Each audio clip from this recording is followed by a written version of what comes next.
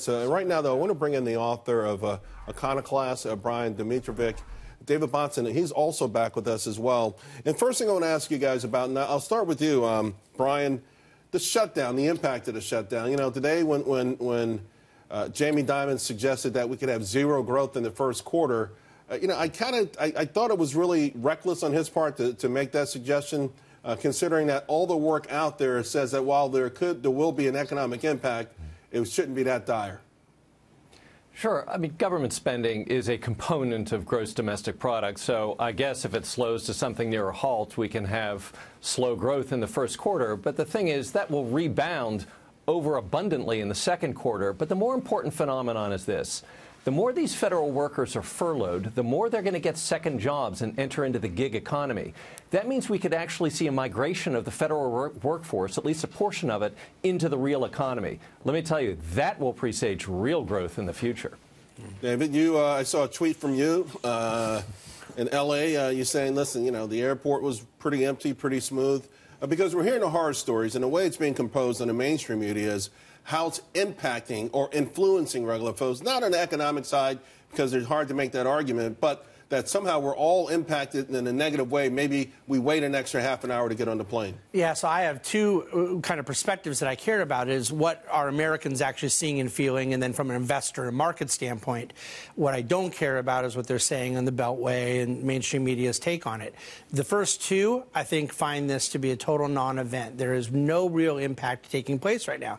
Now, Brian's right, and I think this speaks to what Jamie Dimon said. There's a mathematical sense in which reduced government spending comes out of the input to GDP. Sure. So you're just simply formulaically could have some number, and it just comes back around. It's hard to imagine it would dramatically offset no. uh, consumer spending uh, business investment and those other things. I don't things think the consumer is even aware it's happening. I don't think the consumer cares one bit. The tweet you referenced, I was at LAX last night flying out to New York. It wasn't just that it wasn't bad. It was better than I've ever seen it. I've flown out to New York almost 300 times in the last 20 years. It was the least lines and commotion right. I've ever seen. I just think it's a much ado about Let me ask you about what I'm, one thing that bothers me, but I don't understand it, uh, the CLOs. CLOs. I feel like I feel like every major economic crash we've had, uh, you know, throughout my time on Wall Street has been associated with the abuse of uh, some instrument, junk bonds, collateralized debt obligations, those kind of things. CLO seems to be the sort of thing that I'm hearing about.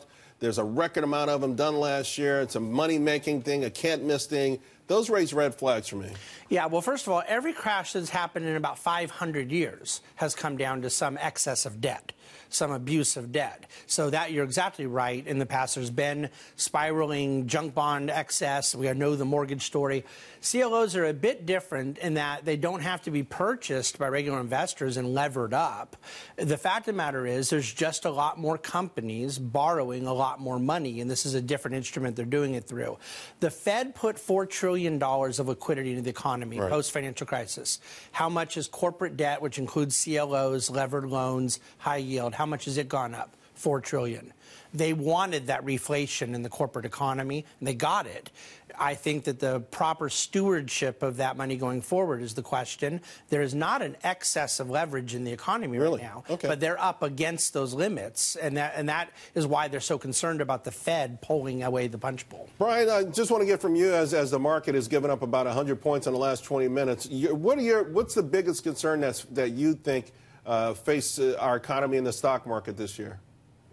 I think the stock market will not like some kind of end to gridlock. If there's a big party in Washington about spending, I mean, the market's really going to pull back. If we're not going to have future tax cuts and deregulation like we had back in 2017, the market's going to second guess why it increased 25% over 26, 2017. Shrinking government in the long term is what the stock market is going to love. I can tell you right now, it's done very well so far under the shutdown. In fact, the last time it went down on a shutdown was 1990. Uh, gentlemen, thank you both very much. Always a great conversation. Brian and David.